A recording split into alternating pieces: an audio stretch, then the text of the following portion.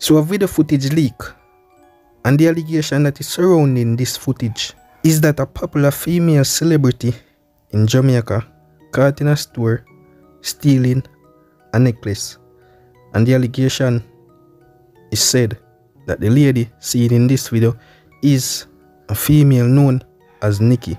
Now some speculation I go and say all of this are just publicity stunt.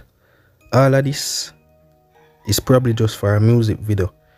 Now me can't tell if that female with the in the video is actually this female who sit on the screen right now. But the thing is, fans of this female Nickii, I tag her in the comment section and I ask her if this is a music video or not. So obviously, them could have pick up and realize from that previous video where I show you know, in the first part of the video, so that is actually this female. So as I said before, the allegation is that is a music video go come out or all of this are just for publicity stunt. We are watching it play out still. What if you not that? Leave it in the comment section. I could talk about something else. US State Department expresses concern that some Jamaican cops could be involved in human trafficking. The United States Department has expressed concern that some members of the Jamaica Constabulary Force could be involved in human trafficking. In its 2021 Trafficking in Person report, released late last week, the State Department said some police allegedly facilitated or participated Jamaica in sex trafficking ranking which indicate that the Jamaica government does not fully meet the minimum standards for the elimination of trafficking but is making significant efforts to do so.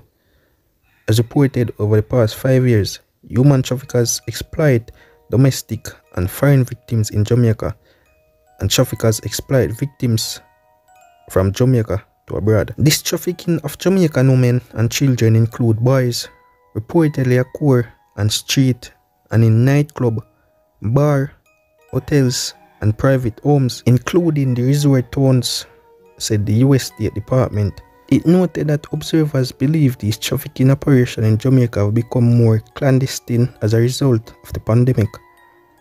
Traffickers increasingly use social media platform and false job officer to recruit victims, communities vulnerable, trafficking and forced labor, including young women, young women and children from poor households, homeless, LGBTQ, youth residents of Jamaica poverty-stricken areas effectively controlled by criminal dons, migrants workers, and workers in the informal sector, particularly on family farms and in markets and shops. Alright people, we cut the article so because this article it contain a lot of information where YouTube them not go really allow them thing there. You see me, we can't say can't say certain things on them platform so if we just cut it right there so. But this is nothing surprising to us. We know say the police them corrupt already all over the world. And the thing where people feel to understand is that corruption is in every organization. That's what most people understand every single organization there is there is corruption trust me in everything you do these days there is corruption check the facts we can go on and on the lawyer them the doctor them the judge every every organization you have you have corruption we know it very sad but i mean it's just a part of the reality we live in now and it not really change. So I mean we have to just go and live with it though. But I thought about something else. Reading from article this is what stated. Estimated 1 billion fixed for Bull Bay flooding problem. It will cost approximately 1 billion to address the issue of flooding in Bull Bay St. Andrew when there is sustained heavy rainfall in the area. According to Member of Parliament, two options have been assessed relocating residents are doing river training and the river in the area and the cost estimate for both are the same. The estimate for both relocation and fixing the river is looking close to $1 billion. I am waiting on the works. Minister Everald Hamilton is taking it to the cabinet to assess where we go from here. Holness said during a tour of section of the Bull Bay area during Sunday rain associated with tropical storm Elsa. According to Holness, the residents will have to decide whether or not they will relocate even though the residents are in danger of being flooded or washed away when there is persistent rain. Holness revealed that Albion in St. Thomas has presently been assessed for relocation of the resident.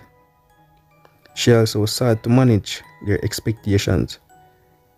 The area that we are looking at to relocate the individuals is actually Albion in St. Thomas, but relocation is going to be costly. Persons have asked if they are relocated, will they be paid both for their houses and given a free house? The answer, I am sure, will be no. They have to be practical, but every effort is going to be made to ensure that they are safe, Holness said. Many of the houses in the area are built without the approval from the relevant authorities and many are elaborate structures.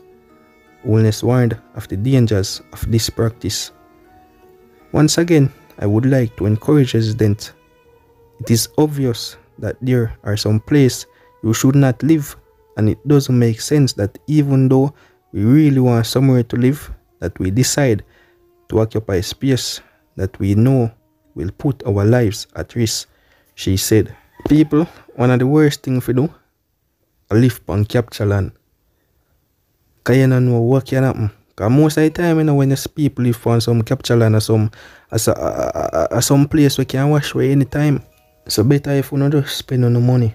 Although we know say most Jamaicans we live on them capture land, they can't really afford a piece of land. So hence why them have to do that. But if you no can afford it, no matter save the money. And true, you know, say a, a part, a, a piece a place around where you can go build up your house and just go build it up around there. If you have the money, just deal with it the right way. Because when things like this happen, I wouldn't go feel it though. Well, if you're not people, leave it in the comment section. Subscribe to the channel if you know and click the bell. Until the next time, you know anything. I'm out.